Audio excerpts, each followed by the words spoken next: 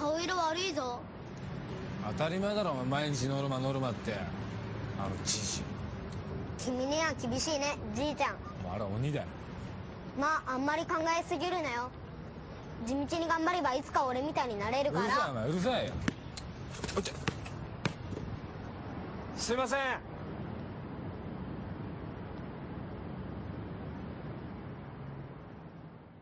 白戸君はこれからさキックヤックの世話係だ。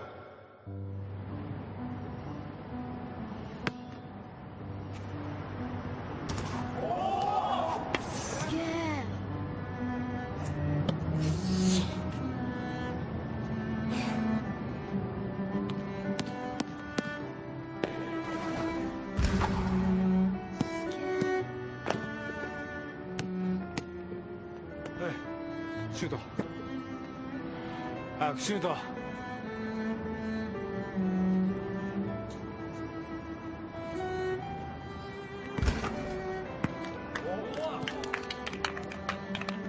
おいやるじゃん。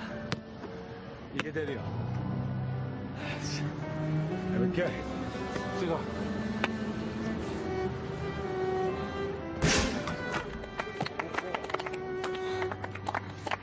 またレクソンにやられました。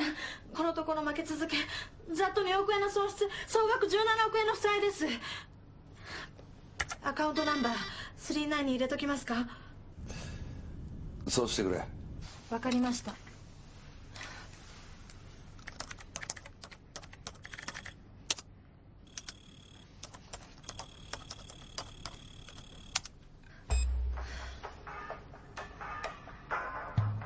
大丈夫ですか？ボスこのところ悪い波が来てる。でも波が引いて立ってるのは俺だ。わかりました。赤製薬の件どうなった？調べてますが特に何の情報も。とりあえず何か分かったらすぐ電話してくれ。じゃ。悪い波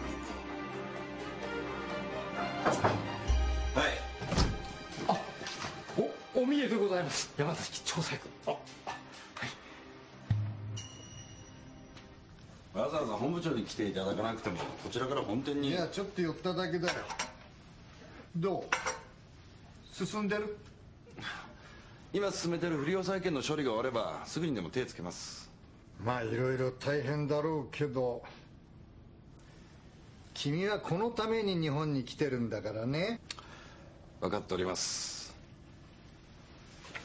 そういえば香港の方は稼いでる？ああ売買報告書がファックスで届いてますけど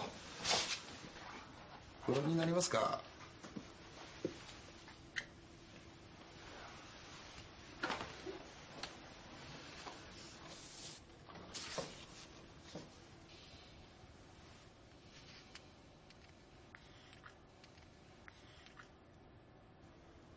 いいよ。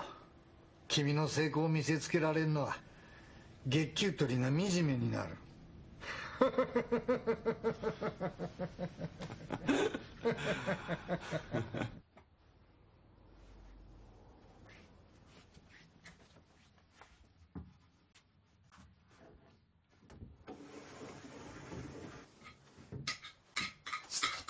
静かにね薬寝ないと明日の取引に差し支えからそれよりさ見て見てあの冷蔵庫。あの子のお金で買ったの。は？あの子さこのままうまくいくかな？ここだけの話。マンション買おうかと思って。その頭金ぐらいこのままいけばもう少しで貯まりそうなのよ。ここ社宅じゃない？嫌なのよ周りの目がうるさくって。ゴミの中まで見てごちゃごちゃ言う人いるのよ。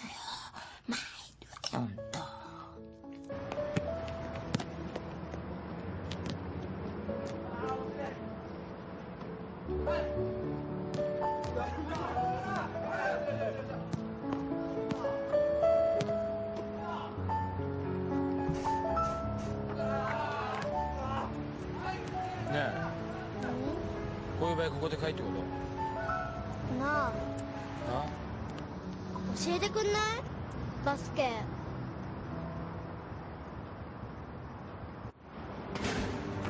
うんうめえじゃん。もう一回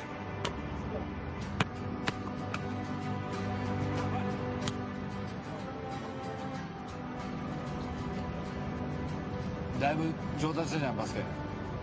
そっちも上達してるじゃんトレード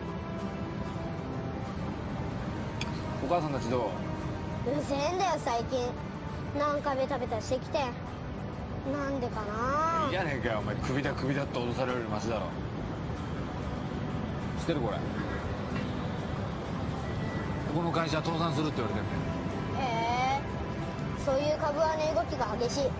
デイトレードで儲けるには一番だ。そう株価は今135円100円を切ったところで株価は大暴落しそこを打ったところで必ず反動で少し上がる。よく勉強したじゃうんるさいんだよ。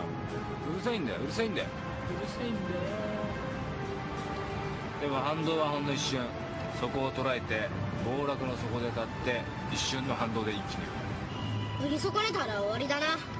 倒産しようって株だからもう上がることはないもんな。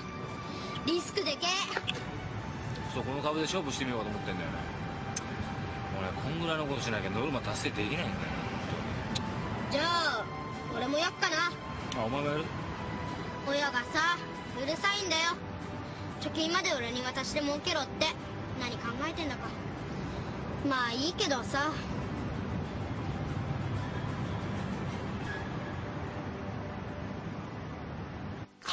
株価150円を切りましたら融資を撤退しろというのはこれ本部の命令でございましてもう135円でございます。それにあの株価100円を切りましたら社内ルールというのがございまして、えーほとんどの機関投資家は自動的に投げ売りとそうなりましたらもう即倒産でございます。あだいやいやあの早く いたしませんとですね。必ず何かあります。小塚が儲かると思ってる何かが。もう少しお待ちください。しかしですね。今情報を集めてます。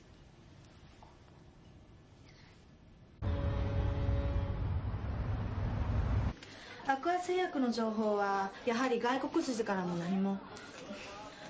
推定倒産確率 RIVLM どの数値をとっても全て倒産に向かっています。そっか分かった。じゃ。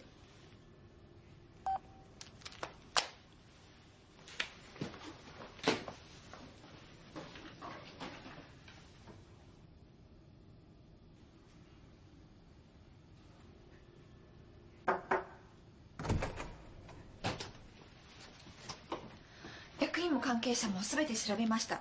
つながりはありません。格付け会社もさらにレーティングを下げてます。株を買い続けてるのは何かデマに載せられてるとしか。小塚太平も衰えたということか。ただよし。融資は引き上げだ。アクア製薬に行くぞ。ただ私何かありそうな気がするんです。あのこだわりには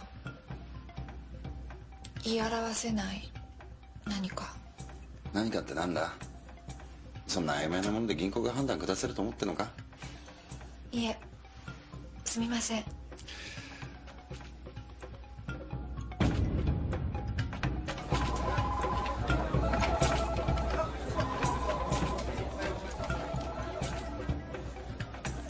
お待たせしました。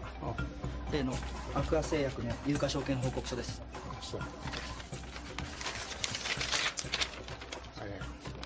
どうも。あのアクア製薬からはもう手を引かれた方が。松井君僕が今まで間違えたことがあるかね？いえ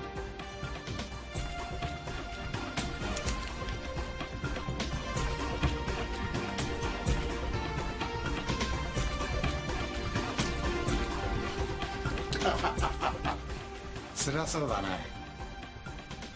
辛いに決まってんでしょ。なノルマノルマってさ。あのね君にお給料払ってんのは僕だよ。結果を求めるのは当然じゃないか。デイトレードと一緒だよ。数字を見せな。1日10万。今までの6日分で60万だ。それができないようなら本当にクビだね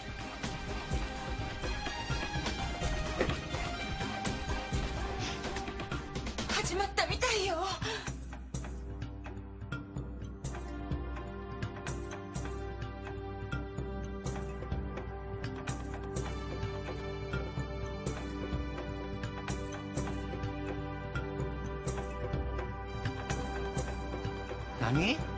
けど日曜参加の振り返りこれもう神様のおぼし飯よあなた。会社行ってる場合じゃないな俺も。ダメ。私もう見て見てらんない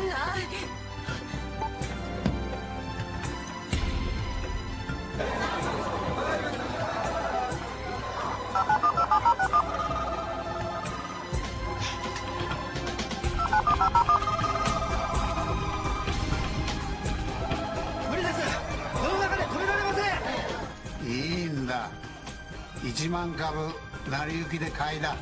焼け石に水ですよ。行きなさい。え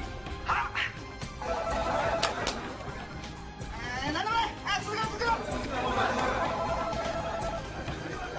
おお来た。あとは1万株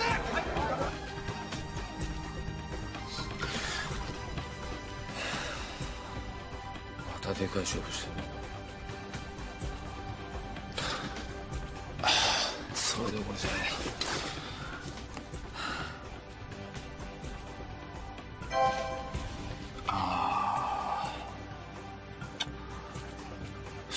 しいな。早く早く100円割れよ。